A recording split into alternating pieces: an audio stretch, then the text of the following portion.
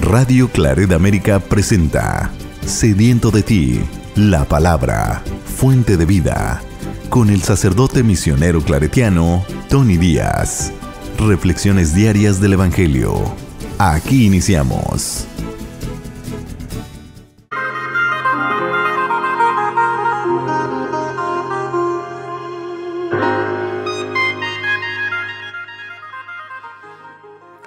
Bienvenidos hermanos a nuestras reflexiones bíblicas de las lecturas del día. Hoy es lunes de la tercera semana de Cuaresma.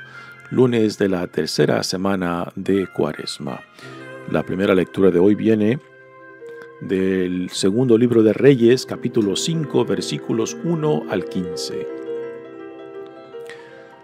En aquellos días Naamán, general del ejército de Siria, gozaba de una estima y del favor de su rey pues por su medio había dado el Señor la victoria a Siria. Pero este gran guerrero era leproso.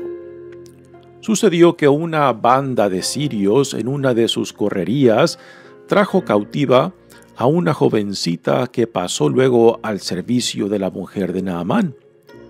Ella le dijo a su señora, Si mi señor fuera a ver al profeta que hay en Samaria, ciertamente él lo curaría de su lepra. Entonces fue Naamán a contarle al rey su señor. Esto dice la muchacha israelita. El rey de Siria le respondió, Anda pues, que yo te daré una carta para el rey de Israel. Naamán se puso en camino llevando de regalo diez barras de plata, seis mil monedas de oro, diez vestidos nuevos y una carta para el rey de Israel que decía, Al recibir esta, sabrás que te envío a mi siervo Naamán para que lo cures de la lepra. Cuando el rey de Israel leyó la carta, rasgó sus vestiduras, exclamando, ¿Soy yo acaso Dios capaz de dar vida o muerte para que éste me pida que cure a un hombre de su lepra? Es evidente que lo que anda buscando es un pretexto para hacerme la guerra. Cuando Eliseo, el hombre de Dios, se enteró de que el rey había rasgado sus vestiduras, le envió este recado. ¿Por qué rasgaste tus vestiduras? Envíamelo y sabrá que hay un profeta en Israel. Llegó pues Naamán con sus caballos y su carroza, y se detuvo a la puerta de la casa de Eliseo. Este le mandó decir con un mensajero, Ve y báñate siete veces en el río Jordán, y tu carne quedará limpia. Naamán se alejó enojado diciendo, Yo había pensado que saldría en persona a mi encuentro, y que invocando el nombre del Señor, su Dios, pasaría la mano sobre la parte enferma y me curaría de la lepra. ¿Acaso los ríos de Damasco, como el Habaná y el Farfar, no valen más que todas las aguas de Israel? ¿No podría bañarme en ellos y quedar limpio? Dio media vuelta y ya se marchaba furioso cuando sus criados se acercaron a él y le dijeron, Padre mío, si el profeta te hubiera mandado una cosa muy difícil, ciertamente la habrías hecho. Cuanto más si solo te dijo que te bañaras y quedarías sano. Entonces Naamán bajó, se bañó siete veces en el Jordán como le había dicho el hombre de Dios, y su carne quedó limpia como la de un niño. Volvió con su comitiva a donde estaba el hombre de Dios, y se le presentó diciendo, Ahora sé que no hay más Dios que el de Israel. Palabra de Dios. El salmo responsorial es el Salmo 41 y el responsorio es, Estoy sediento del Dios que da la vida. Estoy sediento del Dios que da la vida. Como el venado busca el agua de los ríos, así cansada mi alma te busca a ti, Dios mío del Dios que da la vida, está mi ser sediento. ¿Cuándo será posible ver de nuevo tu templo? Envíame, Señor, tu luz y tu verdad, que ellas se conviertan en mi guía, y hasta tu, monte santo me conduzcan, allí donde tú habitas. Al altar del Señor me acercaré, al Dios que es mi alegría.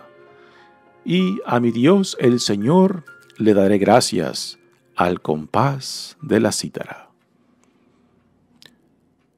Estoy sediento del Dios que da la vida. El Evangelio de hoy viene de Lucas capítulo 4 versículos 24 al 30. En aquel tiempo Jesús llegó a Nazaret, entró a la sinagoga y dijo al pueblo, Yo les aseguro que nadie es profeta en su propia tierra. Había ciertamente en Israel muchas viudas en los tiempos de Elías, cuando faltó la lluvia durante tres años y medio, y hubo un hambre terrible en todo el país. Sin embargo, a ninguna de ellas fue enviado, sino a una viuda que vivía en Seraptá, ciudad de Sidón. Había muchos leprosos en Israel en tiempos del profeta Eliseo. Sin embargo, ninguno de ellos fue curado, sino Naamán, que era de Siria. Al oír esto, todos los que estaban en la sinagoga se llenaron de ira y levantándose lo sacaron de la ciudad y lo llevaron hasta una saliente del monte, sobre el que estaba construida la ciudad, para despeñarlo. Pero él, pasando por en medio de ellos, se alejó de allí. Palabra del Señor. Muy bien, damos comienzo a nuestra reflexión de las lecturas de hoy. Ya eh, hemos comenzado la tercera semana de nuestra jornada cuaresmal y Dios continúa invitándonos, invitándonos para profundizar más en el misterio que hemos sido llamados en Cristo, para identificarnos cada vez más con su voluntad identificarnos cada vez más con lo que Dios dice con, de nosotros, que somos sus hijos, sus hijas amados, de que somos ciudadanos del reino que Dios ha inaugurado en Jesucristo. Y ahora el tema de este día, en, en las dos lecturas, viene siendo una crítica de la religiosidad, de cómo el pueblo de Israel y cómo también la comunidad cristiana entiende su religiosidad, o sea, cómo su, concepto de Dios, sus prácticas religiosas y cuáles son los frutos de estas prácticas religiosas, porque a últimas tenemos que dar cuenta de los frutos que producimos.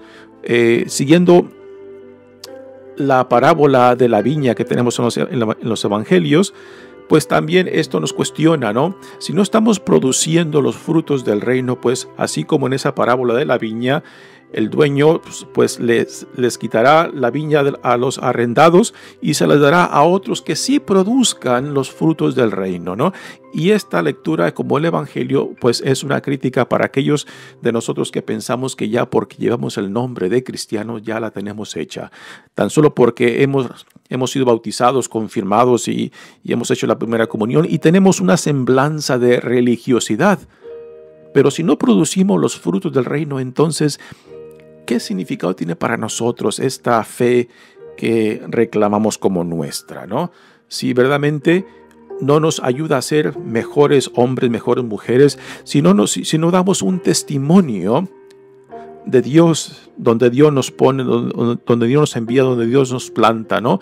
Para hacer luz del mundo. Si no atraemos a otros a, a Cristo, pues entonces, ¿cuál es el propósito de nuestra fe? sino damos un testimonio que dé al mundo la buena nueva de que Dios está entre nosotros. Esto es parte de nuestra fe cristiana, de compartir con otros, no alegando, no dándoles con la Biblia en la cabeza, sino con nuestras vidas dando un testimonio de la verdad, de la fe que profesamos y de que nuestra fe, nuestra forma de ser, de, vivir, de relacionarnos, nuestros valores, pues de que sean atractivos para otros, para que también otros lleguen a conocer a Cristo y al conocerlo amarlo y al amarlo servirlo, ¿no? Esto es fundamental de nuestra vida cristiana, pues tiene el aspecto misionero, ¿no? Del cual Dios nos hace responsable. Y la lectura de hoy, pues, ponen en enfoque, en enfoque nuestra religiosidad, si verdaderamente nos ayuda a entrar en intimidad y confianza, tanto con Dios, con el prójimo y con uno mismo. Si todo lo que hacemos religiosamente no está contribuyendo a esto, entonces Dios, Cristo mismo, nos cuestiona eh, qué significado tiene tu, tu religiosidad, tu fe. Si no te ayuda, si no te impulsa, si no te alimenta el deseo de ser una mejor persona. Y es el tema de hoy. En aquellos días, Naamán, general del ejército de Siria, gozaba de la estima del favor de su rey, pues por su medio había dado el Señor la victoria a Siria. Aquí el segundo libro, de Reyes nos da una visión de Dios, del Dios de Israel, una visión universal, ¿no? Y aún Siria, que es enemigo de Israel, eh, el autor de este libro, segundo libro de Reyes, interpreta aún esta victoria de Siria como un designio de Dios y no simplemente porque Siria es una nación más poderosa que Israel. Todo es interpretado por el lente de la relación con Dios. Así que aún a los enemigos de Israel, el autor de este libro dice, sí, ellos obtuvieron victoria porque Dios se lo permitió, no simplemente porque ellos lo querían. Así que Naamán es un general en el ejército de Siria, pero es leproso. Y ahora nos cuenta cómo Naamán ah, llega a Samaria para ser sanado por medio de una jovencita judía que fue capturada en una de las redadas de los sirios y fue llevada a Siria y termina siendo sierva de la esposa de Naamán. Dice, sucedió que una banda de sirios en una de sus correrías trajo cautiva a una jovencita que pasó luego al servicio de la mujer de Naamán. Ella le dijo a su señora, mi señor, si mi señor fuera a ver el profeta que hay en Samaria, ciertamente él lo curaría de su lepra. Samaria es la parte norte Ah, de la nación de Israel. Ya para entonces Israel está dividido en dos partes. El reinado del norte compuesto por diez de las tribus de Israel y la parte, el, reinado del sur, Judá, que está compuesta por dos de las tribus. Ah, Samaria está dentro del, del reinado de Israel, la parte norte. Y ahí habita el profeta Eliseo que aún todavía no es reconocido en Israel como profeta. Y esto es parte de esta crítica de que es un extranjero, un, extranjero, un sirio y miembro del ejército sirio, enemigo de Israel, quien llega a reconocer que hay un Dios, que hay un, que hay un profeta, que hay un profeta en Israel, algo que ni siquiera Israel mismo y el rey mismo de Israel no reconoce. Y esta es una de las ironías de esta lectura. Dice, entonces fue Naamán a contarle al rey su señor. Esto y esto dice la muchacha israelita. El rey de Siria le respondió, anda pues, que yo te daré una carta para el rey de Israel. Naamán se puso en camino llevando de regalo diez barras de plata, seis mil monedas de oro, diez vestidos nuevos y una carta para el rey de Israel que decía. Así que todo esto que menciona esta lista de regalos es como una acción de gracias por el favor que Naamán va con toda confianza que va a recibir. Así que todo, la plata, el oro, los vestidos son eh, una expresión de la gratitud que Él con toda confianza em, ofrecerá por lo que se le, por lo que Él recibirá en la sanación de su lepra. Al recibir estas, esta carta, ah, dice el rey de Siria al rey de Israel, sabrás que te envío a mi siervo Naamán para que lo cures de la lepra. Y ahora viene la reacción del rey de Israel. Eh, que toma esta carta como un insulto, como una provocación para la guerra. Dice, Cuando el rey de Israel leyó la carta, rasgó sus vestiduras, exclamando, ¿Soy yo acaso capaz de dar vida o muerte para que éste me pida que cura a un hombre de su lepra? Es evidente que lo que anda buscando es un pretexto para hacerme la guerra. Esta reacción exagerada del rey de Israel, eh, quizás nos podemos ver muchos en, ella, ¿no? Cuando eh, sin, sin meditar seriamente lo que estamos viviendo o pasando, pues casi siempre las primeras reacciones son exageradas o son equivocadas, ¿no? Cuando no hay una contemplación de los hechos, de los datos, eh, de la escena o evento en el cual estamos envueltos, ¿no? Y casi siempre nuestras primeras reacciones son impulsivas y no son contemplativas. Así que aquí tenemos una reacción impulsiva eh, viendo, viendo en esta carta y en este enviado del rey de Siria una provocación en vez de otra posibilidad. Cuando Eliseo, el hombre de Dios, se enteró de que el rey había rasgado sus vestiduras, le envió este recado. El rasgar las vestiduras era un símbolo tanto de duelo ah, como de arrepentimiento, también como de protesta. En este caso, el rasgarse las vestiduras por parte del rey de, Israel es una acción que expresa protesta. ¿no? ¿Por qué rasgaste tus vestiduras? Envíamelo y sabrá que hay un profeta en Israel. Estas palabras de Eliseo son una crítica también para el rey de Israel, puesto que el rey de Israel aún no reconoce quién es Eliseo, que es un profeta de Dios, ¿no? Y aquí está, pues, es parte de la ironía de esta lectura, de que es un extranjero, un no judío y un general del ejército del enemigo de Israel, quien deja en claro que hay un profeta en Israel cuando Israel mismo y particularmente el rey no reconoce a Eliseo como un profeta de Dios. Llegó pues Naamán con sus caballos y su carroza y se detuvo a la puerta de la casa de Eliseo. Este le mandó decir con un mensajero, Ve y báñate siete veces en el río Jordán, y tu carne quedará limpia. Naamán se alejó enojado, diciendo, Yo había pensado que saldría en persona a mi encuentro y que, invocando el nombre del Señor su Dios, pasaría la mano sobre la parte enferma y me curaría la lepra. Aquí esta reacción de Naamán, eh, pues enojado porque el profeta Eliseo ni siquiera sale a recibirlo, sino que por medio de un mensajero le dice lo que tiene que hacer. Y aquí, aquí podemos también nosotros eh, vernos en esta reacción exagerada de Naamán, eh, porque él tiene unas ideas, unas, unas ideas de cómo tiene que llevarse a cabo la sanación como un tipo de magia, ¿no? Y no, está en la palabra, en la palabra del hombre de Dios, en la palabra del profeta. Haz esto y quedarás limpio.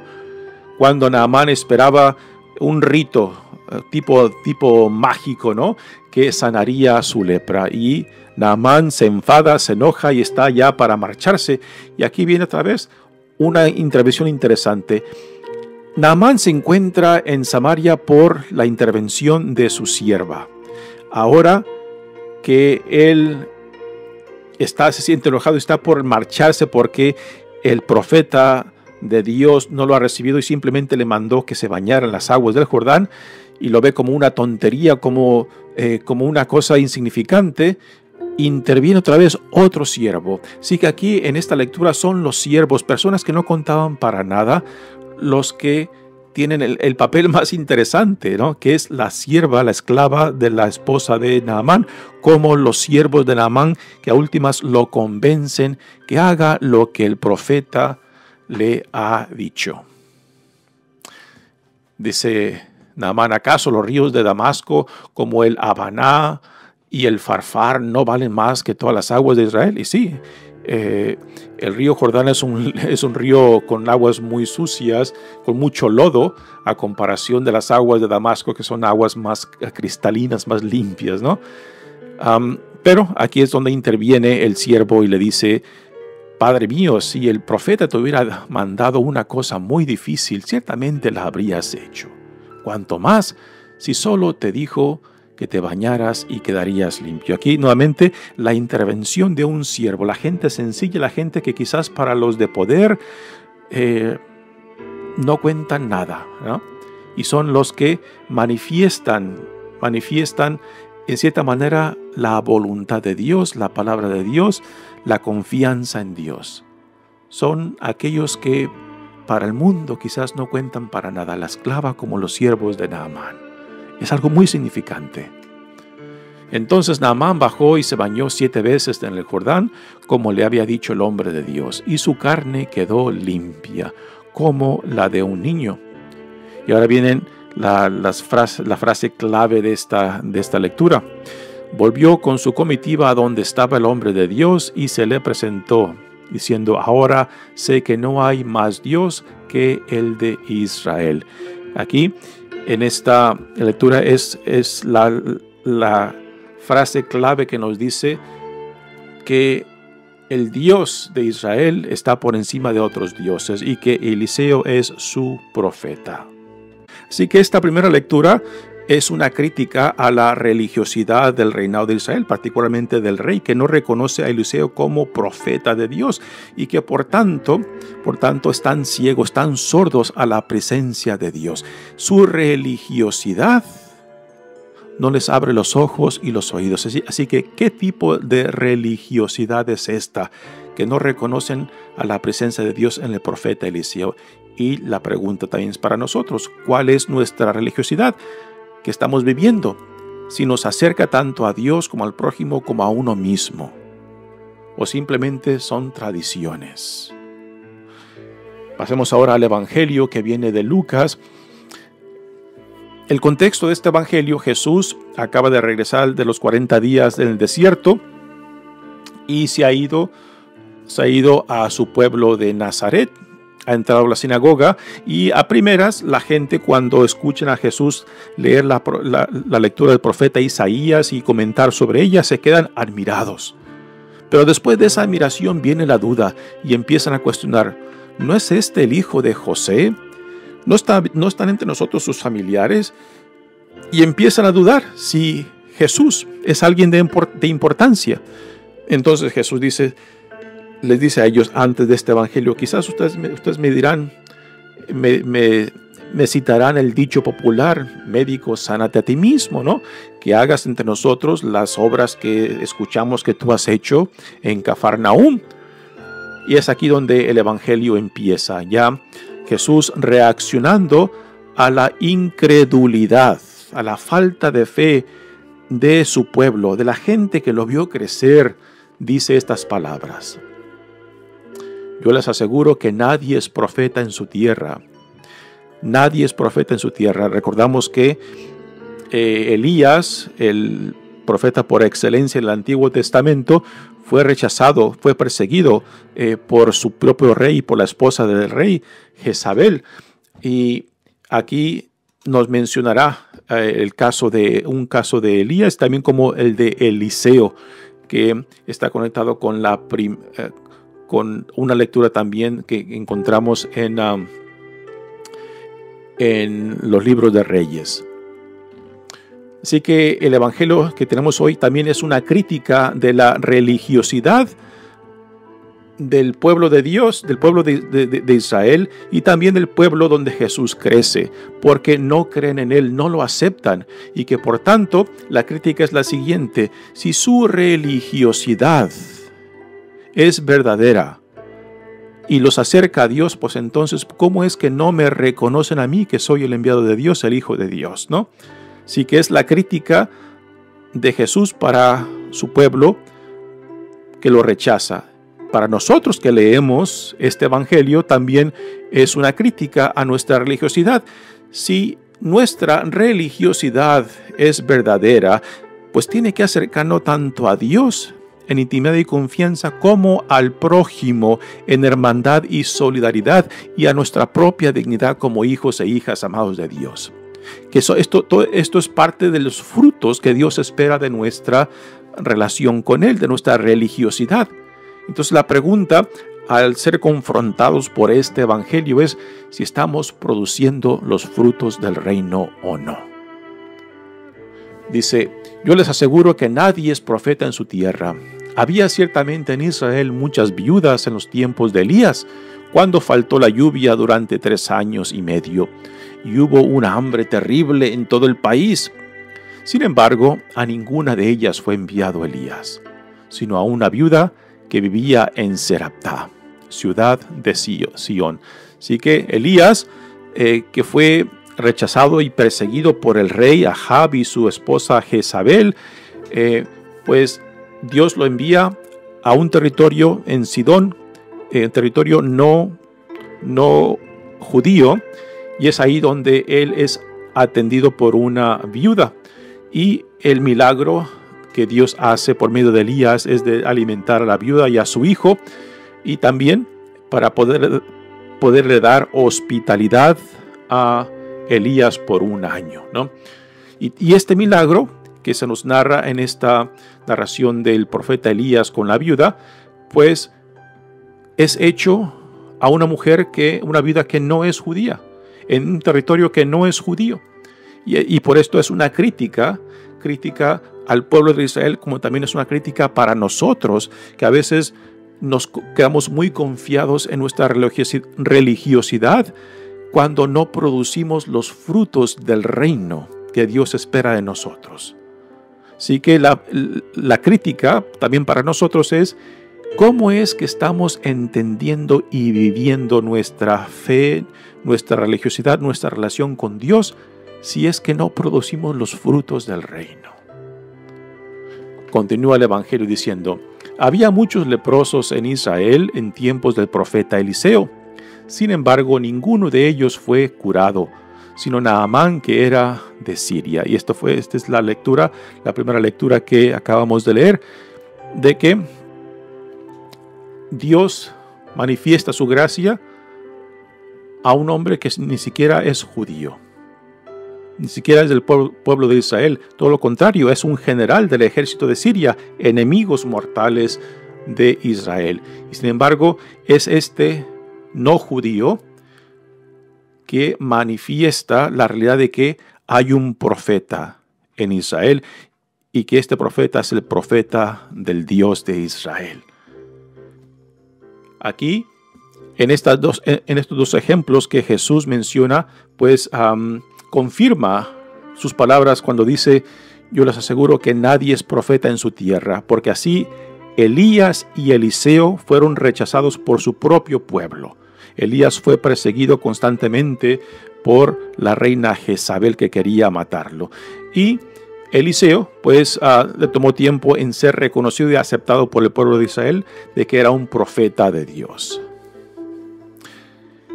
y cierra el Evangelio diciendo, al oír esto, todos los que estaban en la sinagoga se llenaron de ira y levantándose lo sacaron de la ciudad y lo llevaron hasta una saliente del monte sobre el que estaba construida la ciudad para despeñarlo.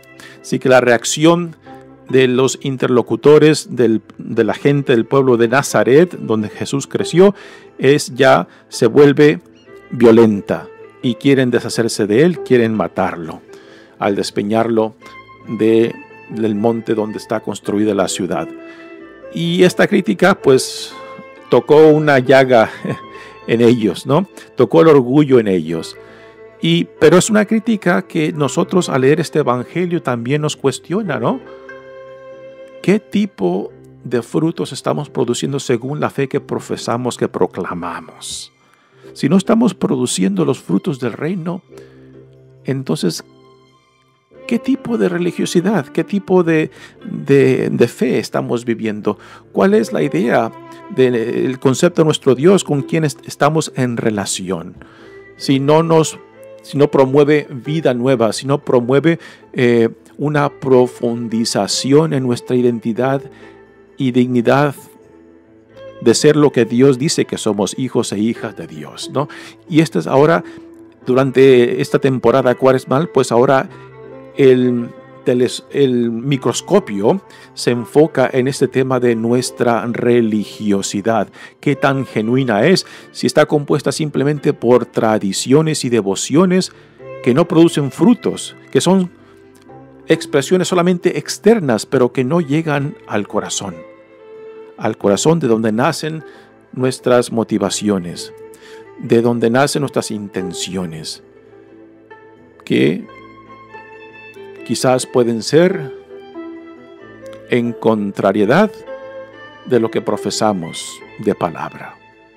Así que en esta temporada cuaresmal, ahora el microscopio se nos voltea hacia nuestra religiosidad. En días anteriores, la semana pasada, eh, los temas de la lectura se han enfocado en relaciones con el prójimo, en relaciones eh, o en las cuestiones morales de mi comportamiento moral, pero ahora el microscopio se nos voltea hacia nuestra religiosidad para preguntarnos, para meditar seriamente si lo que celebramos religiosamente nos está acercando a Dios en intimidad y confianza, al prójimo en solidaridad y hermandad y con nosotros mismos con la integridad de lo, que Dios dice que somos hijos e hijas de Dios. Así que es un tema muy interesante para el comienzo de esta tercera semana de Cuaresma. Mi nombre es Padre Tony Díaz, misionero claretiano. Que Dios los bendiga. Radio Claret América presentó Sediento de ti, la palabra. Fuente de vida, sus comentarios son importantes. Contáctenos en radioclaredamerica.gmail.com